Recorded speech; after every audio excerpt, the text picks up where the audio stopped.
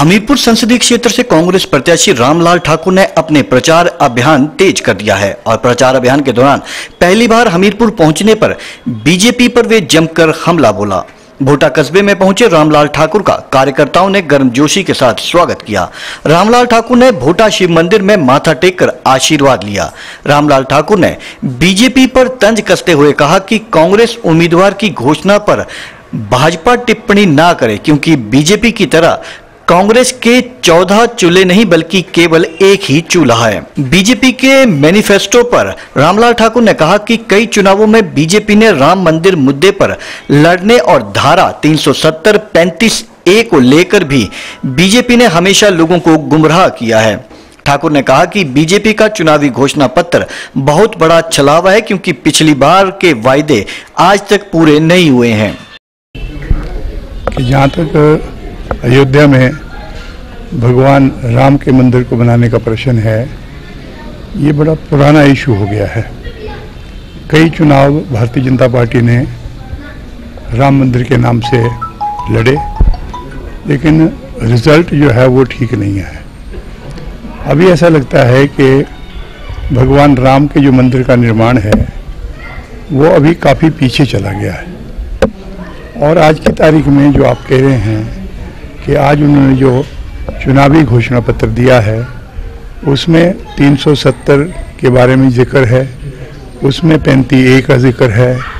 और उसमें बहुत सारी बातें जो है कही गई है। यही नहीं, साथ में किसानों के कर्ज को के ऊपर एक साल की जो जो उसके ऊपर ब्याज है, उसको जो है वो मुआफ़ करने की बात कही गई है।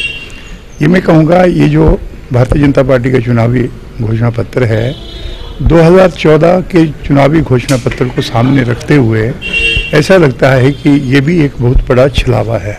और मैं ये कहना चाहूँगा कि आज की जो चुनाव है, वो चुनाव है भारतवर्ष में भारतीय जनता पार्टी की जो सरकार बनी, साढ़े चार सालों पाँच सालों के अंदर उन्होंने भारतवर्ष के लोगों से छलावा किया, झूठ बोला, वोट एंठे और कोई काम नहीं किए। और अब क्या है? अब जो सवालत हैं, जो जो उनकी, उन्होंने जो काम किए हैं साढ़े चार, पाँच सालों के अंदर, अब उसका उत्तर नहीं दे पा रहे हैं ये। अब क्या है? अब धर्म की राजनीति हो रही है। अब हिंदू और मुस्लिम का नाम लेके भारतवर्ष के लोगों से छलावा एक और दोबारा से हो रहा है।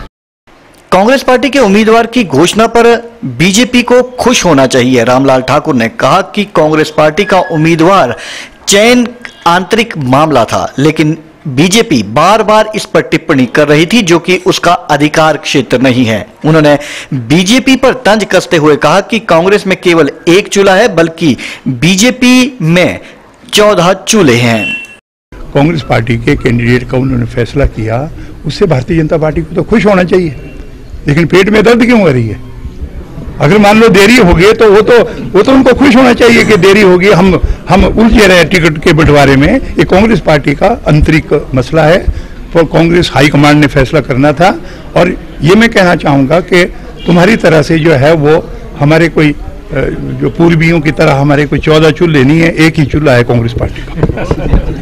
सांसद अनुराग ठाकुर को कांग्रेस प्रत्याशी रामलाल ठाकुर ने नसीहत देते हुए कहा कि हद में रहकर वे बयानबाजी करें, क्योंकि झूठ बोलकर किसी का भला नहीं होता है। उन्होंने कहा कि नशे का कारोबार कब बढ़ा, इसका सभी को पता है, लेकिन अनुराग ठाकुर से उन्होंने पूछा कि बिना खेल ही कैसे वे क्रिकेट टीम के कप्तान बन गए? और एचपीसीए के अध्यक्ष के साथ क्रिकेट कंट्रोल बोर्ड के चेयरमैनशिप से किसने उन्हें निकाला, ये जनता जानती है। ठाकुर ने कहा कि इस बार मुकाबला रामलाल ठाकुर और पूर्व सीएम धूमल के बेटे के बीच में है। और अब लोग जानते हैं कि किसने क्या किया है। इसलिए अनुराग ठाकुर बोलने से पहले अपने चारपाई के नीचे झाड़ू मार लें। आप उन्होंने उन्होंने करा होगा एंटर किया होगा। मेरे टाइम में नहीं था, कुछ भी नहीं ऐसा, पर मैं उनसे एक बात करना चाहूँगा। आप मेरे छोटे भाई की तरह है। अनाप शनाप बयानबाजी मत करो। झूठ बोल के कुछ नहीं होता। लोगों को मालूम है कि विदेशों में कौन रहता था। ये तो चुनाव आ गए इसलिए बिलासपुर की कोर्ट की धार और नैना देवी की धार आज याद आई उनको। आज जो है वो हमारे जो ऊना का एरिया है, हमीरपुर का एरिया है, ग्रामीण क्षेत्र, उनको आज याद आने शुरू हुए। पर मैं उनसे ये प्रश्न पूछना चाहता हूँ कि जो भी मैं कहूँगा कि जो ड्रग्स का जो जो जो, जहाँ पे भी हुआ, पूरे हिंदुस्तान में सबको मालूम है कब हुआ, क्या हुआ।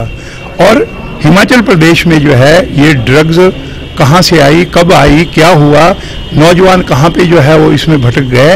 ये भाई अगर अनुराग ठाकुर को ज़्यादा इल्म है तो मैं कहूँगा तो उनको मैं उसकी मुबारकबाद देना चाहूँगा। अब का जो चुनाव है, वो प्रेम कुमार धूमल मुख्यमंत्री हिमाचल प्रदेश के बेटे के साथ नहीं है। आज चुनाव अनुराग ठाकुर के साथ है। अब मुख्यमंत्री जो है, वो पूर्व मुख्यमंत्री बन गए हैं। अब जो चुनाव होगा, वो चुनाव होगा अनुराग ठाकुर। उन्होंने तीन टर्म्स में क्या किया? उन्होंने अपना जो एमपी लेड का पैसा है, वो कहाँ कहाँ पे दिया? और उन्होंने किस प्रकार से क्रिकेट के माध्यम से लोगों को ठगा? ये मैं कहूँगा प्रश्न ये हैं। और अब चुनाव अगर होगा तो रामलाल ठाकुर किसान का बेटा है उसके बीच में, और पूर्व मुख्यमंत्री जो है वो उसके उसके बेटे के बीच में होगा। अब मुख्यमंत्री का बेटा चुनाव नहीं लड़ रहा है। अब लोगों को पता लग गया है कि कौन कहाँ पे है। इसलिए अनुराग ठाकुर जिसे मैं कहूँगा, कृपया करके बोलने से पहले अपनी चारपाई के नीचे झाड़ू मार के देखें। रामलाल ठाकुर ने कहा कि अनुराग ठाकुर के द्वारा सुप्रीम कोर्ट में जाकर माफीनामा देकर बाहर होना पड़ा था। इससे प्रदेश की नाक कटी थी। उन्होंने कहा कि अनुराग ठाकुर ने झूठा हल्फनामा देने के बाद सुप्रीम कोर्ट में गलती मानी थी। इसका जवाब भी उनको जनता को देना चाहिए। ये जो सुप्रीम कोर्ट में केस जाके माफ़ी मांग के जो है वो बाहर होना पड़ा, ये मैं कहूँगा उससे हमीरपुर पार्लियामेंट्री कॉन्स्टिट्यूंसी का जो है, वो मैं कहूँगा कि नाक कटी है। कि हमारा चुना हुआ जो मेंबर पार्लियामेंट है, वो क्रिकेट कंट्रोल बोर्ड में भी गड़बड़ कर रहा है। वो जाके जो है, वो लोडा कमीशन की रिपोर्ट के बाद बयान हल्फी दिया, उन्होंने झूठा बयान दिया। बयान हल्फी भी झूठा दिया और उसके बाद सुप्रीम कोर्ट में मुआफ़ी मांगनी पड़ी उनको कि मेरे से गलती हो गई थी, तब वो केस से बाहर हुए, उसका जवाब दे दीजिए।